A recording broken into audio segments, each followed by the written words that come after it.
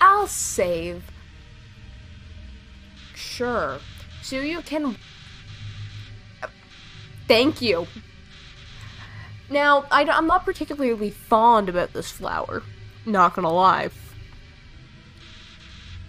What? Do you really think you can stop me? Yes, I do, actually. You really are an idiot. I really am. I truly am. You're also a giant flower.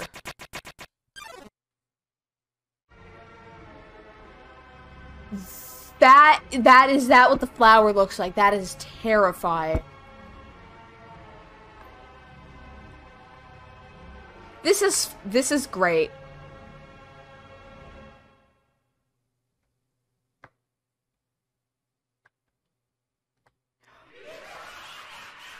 Excuse me.